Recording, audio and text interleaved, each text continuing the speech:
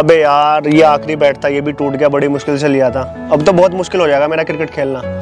पता नहीं क्या होगा आगे लाइफ में। अरे विशाल आज तो बैटिंग बढ़िया कर रहा था भाई तू। बैटिंग तो बढ़िया हुई पर आखिरी बैट था यही टूट गया भाई। अच्छा और बैट नहीं है तेरे पास? और बैट नहीं है। अच्छा चल कोई बात नहीं भाई तू टेंशन मत ले और ऐसे बैटिंग करता रहा मेरे पास दूसरा बैट है और तू ले मेरे बैट से खेल। अबे यार कल तो मेरा मैच है और मैंने एक बैट तो उसे दे दिया।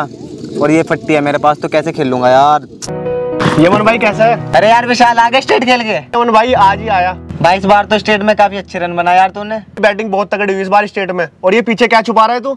अबे तू इस टूटे हुए बैट से खेल रहा है। अरे नहीं भाई ये तो ठीक है रिपेयर करा लूँगा। अरे यमन तूने तो मेरी उस टाइम हेल्प की थी जब मेरे पास बैट नहीं था। और आज बुरे टाइम में अगर मैं तुझे भूल जाऊँ तो मेरे क्रिकेट खेलने का क्या फ़ायदा? तो आज मेरे पास बैट की कोई कमी नहीं है पर उस टाइम कमी थी उस टाइम तूने हेल्प की थी। तो आज तेरे पास बैट नहीं है तो तेरा भाई तेरे लिए बैट लेके आया।